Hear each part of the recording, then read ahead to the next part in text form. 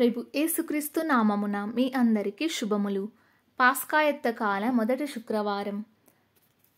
దుష్టుడు తన పాపముల నుండి వైదొలగినేని అతడు బ్రతుకును.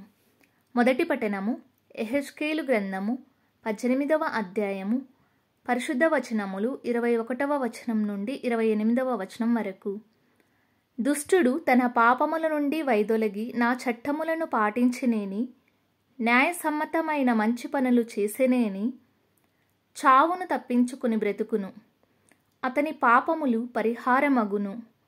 అతని మంచి పనులకు అతడు బ్రతుకును. దుర్మార్గుడు చనిపోవుట వలన నాకు సంతోషము కలుగునా? అతడు తన పాపము నుండి వైదొలుగుట వలన కాదా? అని యావే ప్రభువు నుడువుచున్నాడు. కాగా సజ్జనుడు తన సత్కార్యముల నుండి వైదొలగి దుష్కార్యములకు పాల్పడి దుష్టులు చేయు హేయమైన కార్యములు చేసినేని బ్రతుకునా? అతడు బ్రతకడు.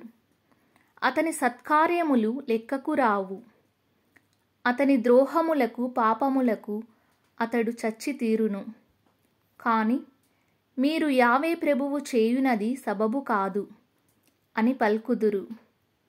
ఇజ్రాయేలీయులారా వినుడు. నా మార్గము సబబైనది కాదా? మీ మార్గమే సబబైనది కాదు. సజ్జనుడు తన సత్కార్యముల నుండి వైదొలిగి చెడుకు పాల్పడి చనిపోయనేని? తన దుష్కార్యముల వలననే చనిపోయెను.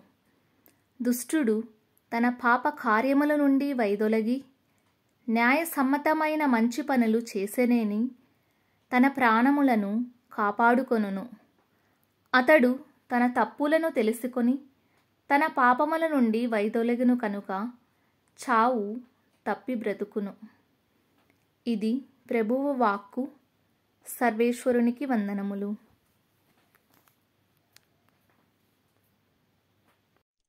ఈనాటి సువిశేషము పునీత మత్తయ్య గారు వ్రాసిన సువిశేషము ఐదవ అధ్యాయము ఇరవయవ వచనము నుండి ఇరవై ఆరవ వచనము వరకు. ధర్మశాస్త్ర బోధకుల కంటే పరిసయ్యుల కంటే మీరు నీతిమంతమైన జీవితము జీవించననే తప్ప పరలోక రాజ్యమున ప్రవేశింపరని చెప్పుచున్నాను. నరహత్య చేయరాదు. నరహత్య కావించువాడు న్యాయాధిపతి తీర్పునకు గురియగునని పూర్వులకు శాసింపబడిన మాట మీరు వినియున్నారు గదా. నేను ఇప్పుడు మీతో చెప్పునదేమనగా తన సోదరునిపై కోపపడువాడు తీర్పునకు గురియగును.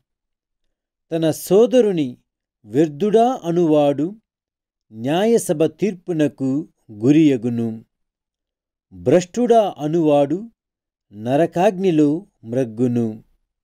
కనుక బలిపీఠ సన్నిధికి నీ కానుకను తెచ్చినప్పుడు నీ సోదరునికి నీపై మనస్పర్ధ ఉన్నట్లు నీకు స్ఫూర్తించినచో ఆ కానుకను పీఠము చెంతనే వదిలిపెట్టి పోయి నీ సోదరునితో సఖ్యపడి తిరిగి వచ్చి నీ కానుకను చెల్లింపుము.